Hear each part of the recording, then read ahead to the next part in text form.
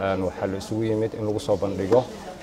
Daraasad oo vulnerability assessment oo loogu talagalay lagu soo maaragtay xog ururin lagu soo sameeyey saameynta oo covid 19 waddanka soomaaliya dhammaantiis uu ku yeeshay.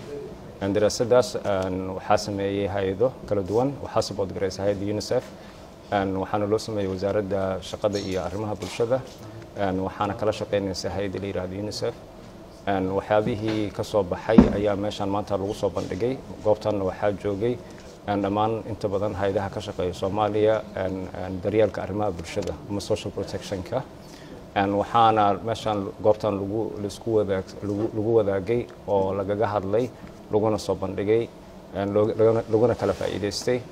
Sida uu u saameeyey xanuunka covid 19 bulshada soomaaliyeed qaybaheeda kala duwan khaasatan dadka nugul sida carruurta iyo hooyooyinka iyo waayeelka iyo dadka xanuunsan. Waxaana maaragtay la isu keenay xog badan iyo fikrado badan taasoo loogu talagalay in mustaqbalka lagu xoojiyo adeega bulshada oo ku saabsan dadka maaragtay mustaqbalka sidii si wanaagsan oo sidii hore ka wanaagsan loogu jawaabi lahaa ama loogu maaragtay loola tacaali lahaa xanuunkaas isaga ah ka maamul gobol ahaan wuxuu noo yahay munaasabadan aada muhiimsan.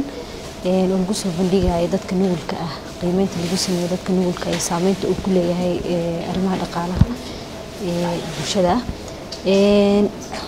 Halkan waxaa lagu falanqeeyey sidee ayaa marka taqaana loogu sameyn lahaa respondi dhibaatooyinka ama waxyaalaha shookiska soo wajahda bulshada. Waxaan aad iyo waxaan aad iyo aad ugu mahad celinayaa wasaaradda shaqada iyo arrimaha bulshada xukuumadda federaalk soomaaliya ee soo qaban qaabisay shirkan oo looga hadlay shirkan oo looga hadlayay dhaqaalaha dhaqaala darada ku yimaaday coronavirus waana u mahad celinayaa sida sharafta badan oo u soo awaawileen